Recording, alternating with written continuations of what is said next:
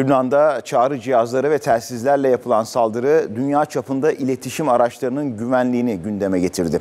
Bu alanda Ankara'da önemli bir fuar var.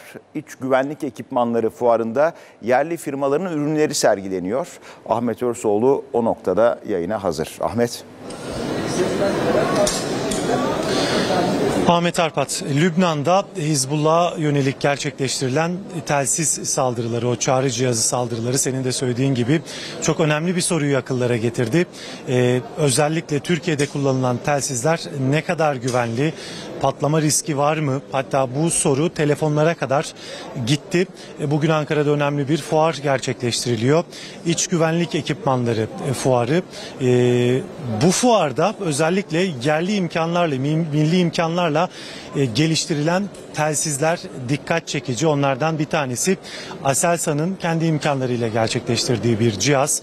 E, ilk önce bu cihazı gösterelim. Modeli 3810 olarak geçiyor. Bir telsiz üretilirken e, telsizin üretildiği alanın da güvenli olması e, kabul ediliyor.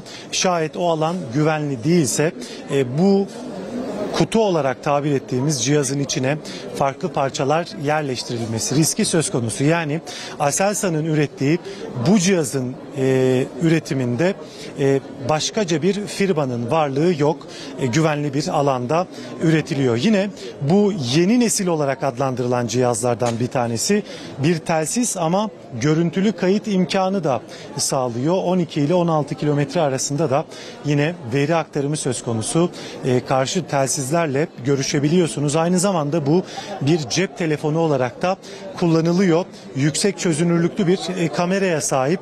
E, bu kameradan yine e, bu yayını bize aktaran kameraman arkadaşımı da net bir şekilde görebilmek mümkün. Kayıt alınabiliyor ve bu kayıt karşı tarafa ulaştırılabiliyor.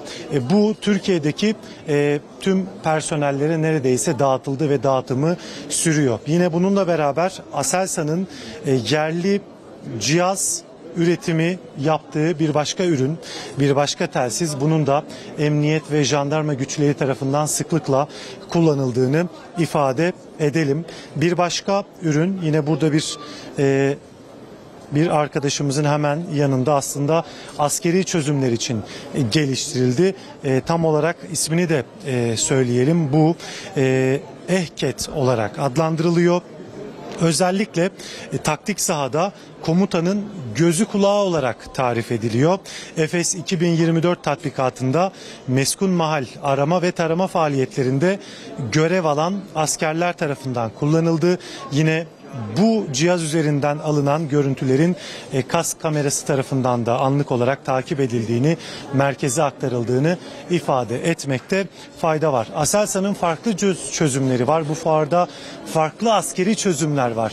Güvenli iletişime dair hemen Mehmet'ten rica edeceğim. Bu tarafa doğru dönelim. Yine emniyet ekiplerinin kullandığı cihazlardan bir tanesi. E, sokakta bir e, polis gördüğünüzde onun hemen yakasının üstünde e, asılı bir şekilde e, dikkatinizi çekmiştir aslında. Yakın zamanda emniyet güçleri ve jandarma güçleri bu ürünü kullanmaya başladılar. E, ürünün ismini de hemen söyleyelim. Odakan. Odak ve Andan üretildi. İsmi yüz tanıma yapabiliyor. Karşıda bir suçlu varsa e, o suçlunun anlık bir şekilde GBT bilgilerini güvenlik güçlerine aktarabiliyor. Yine bu yerli milli imkanlarla geliştirilen Aselsan tarafından geliştirilen ürün de e, dışarıdan kriptolu olduğu için ulaşabilmek farklı bir e, istihbarat kaynağının ulaşabilmesi söz konusu değil. Aslında Lübnan'daki o saldırılar e, kriptolamanın e, kapalı güvenli iletişim mekanizmalarının e, önemini bir kere daha bizlere gösterdi. Bir başka çözümden daha bahsetmek istiyoruz. Askeri ve sivil çözümler, e, ekipler bu e, güvenlik kamerasını kullanabiliyorlar. Şöyle özetleyelim. E, bu cihaz kritik noktalarda kullanılıyor. E, ismi GÜKAŞ Güneş Enerjili Kamera Sistemi. E, Özellikle askeri çözümlerde bir dağın zirvesindeyseniz ve oraya elektrik çekilemiyorsa e, bu cihaz yardımınıza koşuyor. Güneş enerjisiyle çalışıyor ve gördüğünüz bu üç üründen, 3 üniteden oluşuyor.